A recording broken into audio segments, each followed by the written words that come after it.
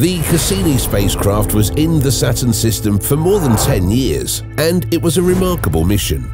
It also marked the beginning of a generation of scientific careers and the lives of scientists who spent more than 10 years sifting through the gigabytes of data to comprehend the gas giant, its rings, and its moons. In addition to discovering features that resemble popular culture icons and providing a glimpse beneath Titan's atmosphere, Cassini also provided new information about the potential habitability of icy moons. This was made possible partly by the successful landing of a probe on the orange moon.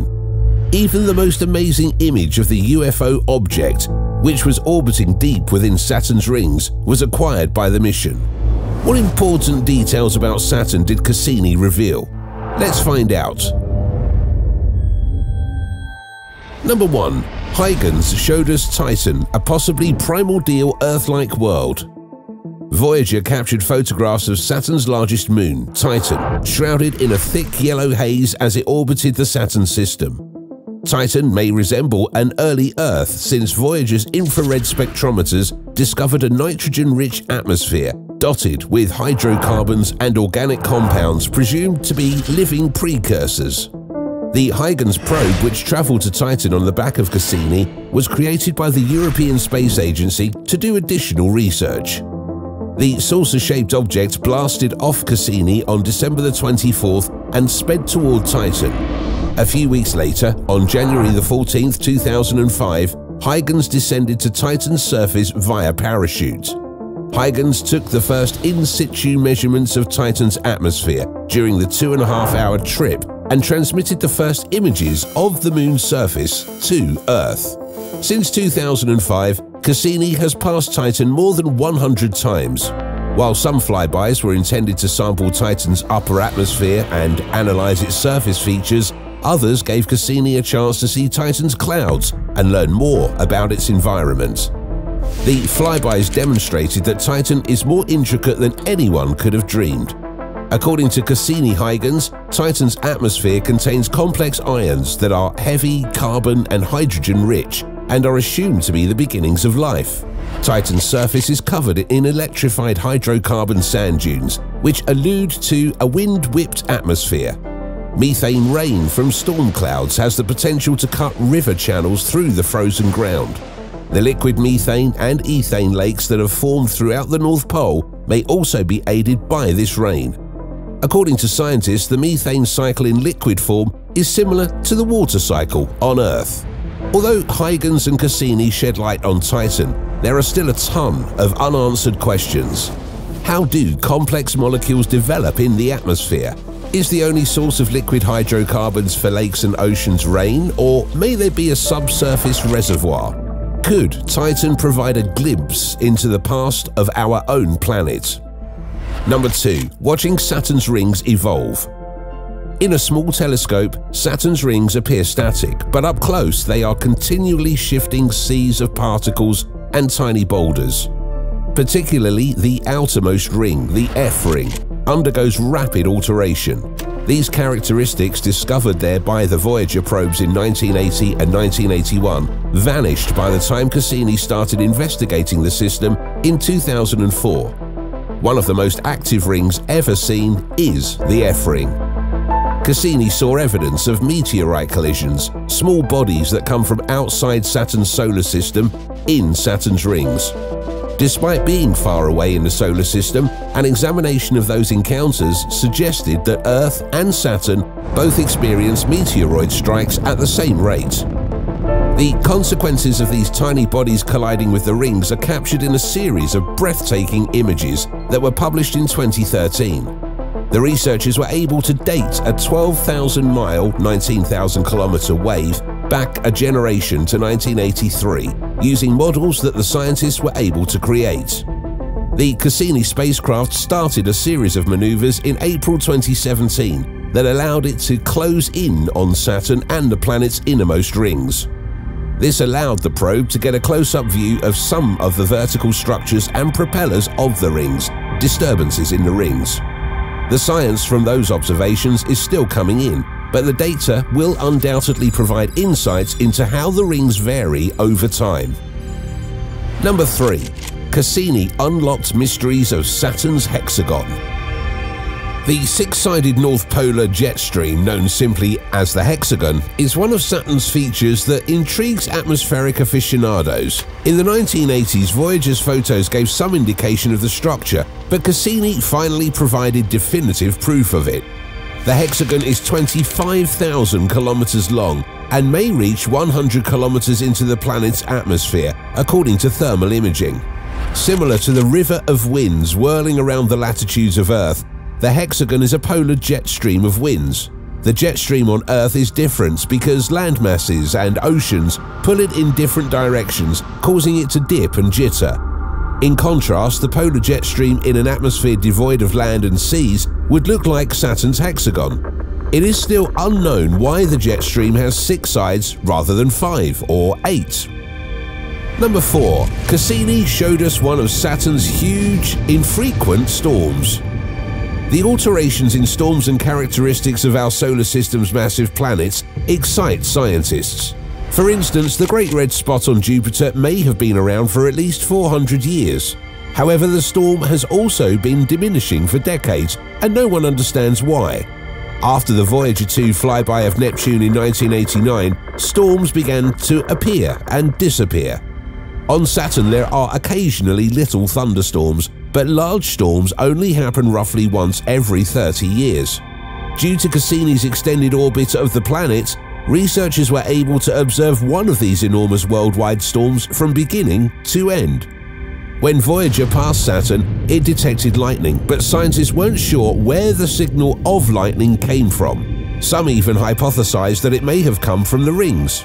However, as the planet turned, Cassini's detectors revealed storms rising and setting across the horizon, demonstrating that the lightning originated from Saturn's atmosphere.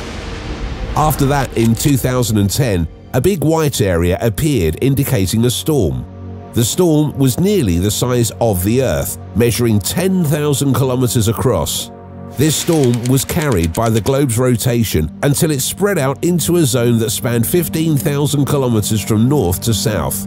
The storm continued to circle Saturn like a ribbon during the ensuing months as it revolved, covering 5 billion square kilometers until one day the storm's head and tail collided and destroyed one another. The storm's activity eventually stopped after barely one week scientists are still unsure of the cause of the storm's quick conclusion. Number 5. Cassini showed us Saturn's other dynamic moons. According to NASA, Saturn has 53 confirmed and 8 preliminary unconfirmed moons, excluding its ice and rock-filled rings. The astounding thing is that there were just 18 moons known to exist near Saturn when the expedition started in 1997. 13 additional were found by Earth-based observatories even as Cassini was traveling. Since Cassini's launch, observations from both Earth and space have assisted in the discovery of more moons. The spacecraft discovered the tiny moons Methone and Pallene shortly after it arrived in July 2004. These discoveries were followed by the discovery of moons like Polydeuces, Daphnis and Aegeon. When it comes to habitability, Enceladus and Titan attract scientists' attention, but Saturn's other moons also hold many secrets. For instance, Tethys, which orbits within Saturn's E-ring, has lengthy, enigmatic red stripes on its surface. They are unlike anything else in the solar system that has been observed.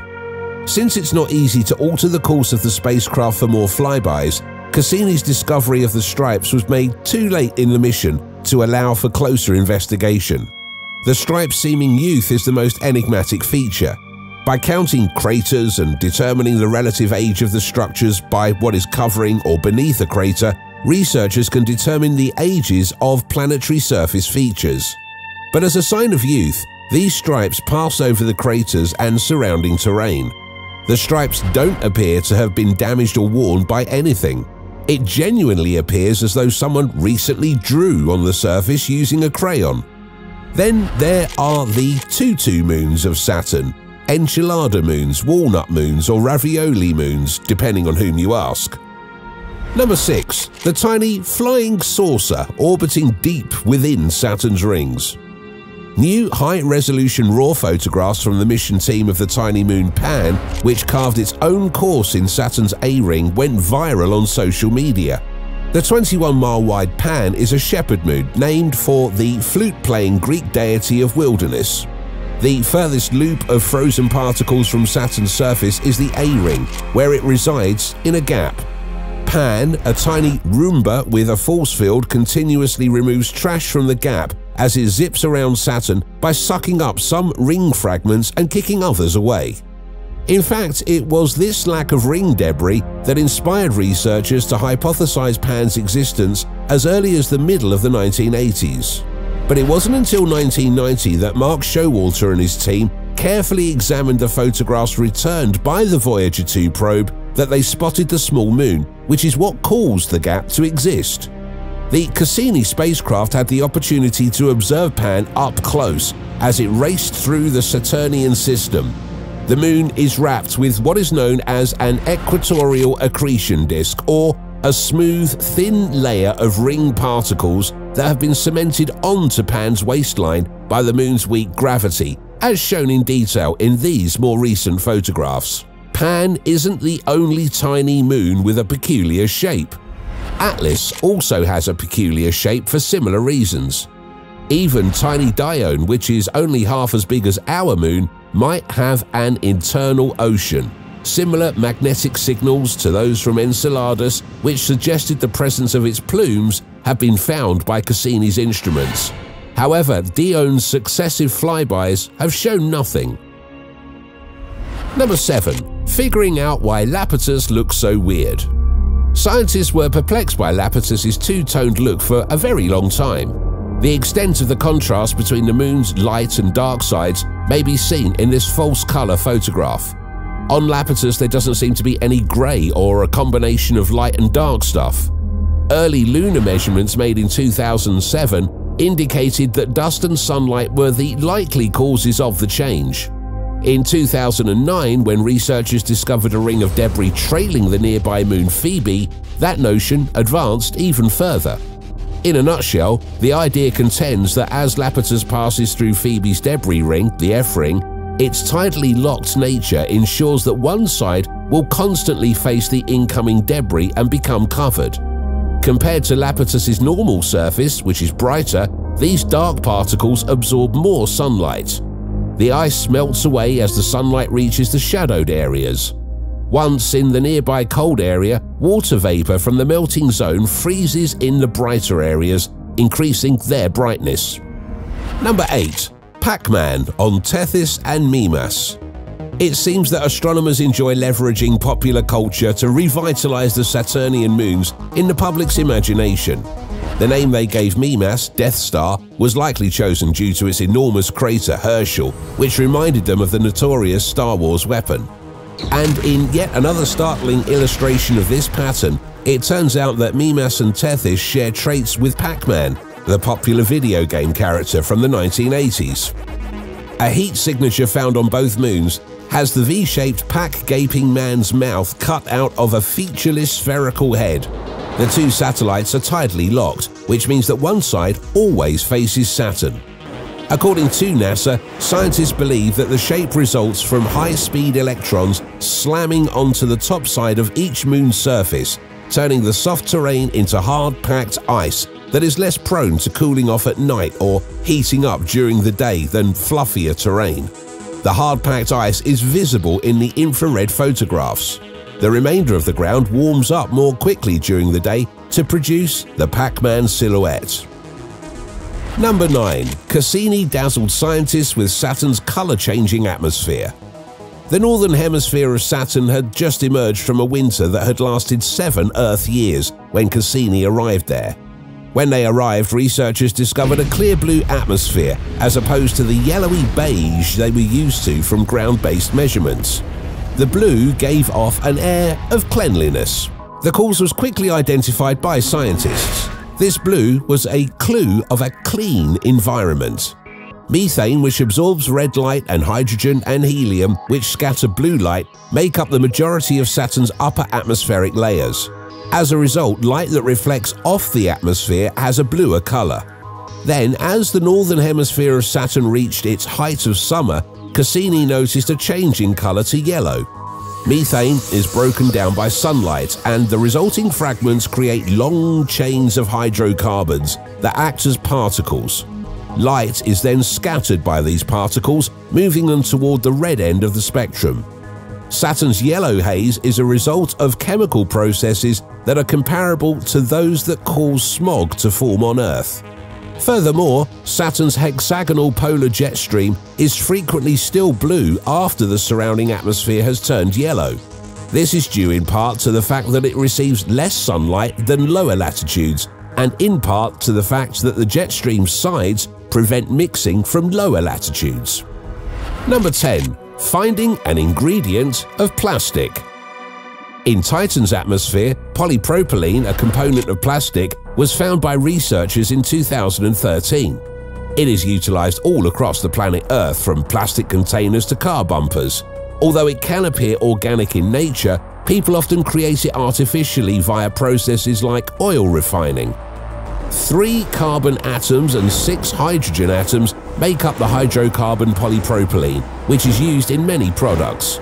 In Titan's atmosphere, the Voyager probes did not find propylene. Still, they did find molecules belonging to the same chemical family, those with three carbon atoms but four or eight hydrogen atoms respectively. The middle child in the family looked missing, perplexing the researchers. Titan's frigid surface is too cold for liquid water to exist. Still, it is nonetheless an intriguing place to visit. It resembles rocky planets like Earth in appearance, but its base chemical is quite different. Contrary to sand grains on Earth, which are silicates, its lakes and rivers are made of methane and ethane, and the wind-swept dunes on its surface are built of hydrocarbon grains. If Titan has the elements to produce a variant of life as we know it, Researchers are curious to find out. Thanks for watching another episode of Voyager. While you're still here, make sure to click the video on your screen for more mind-blowing videos about space.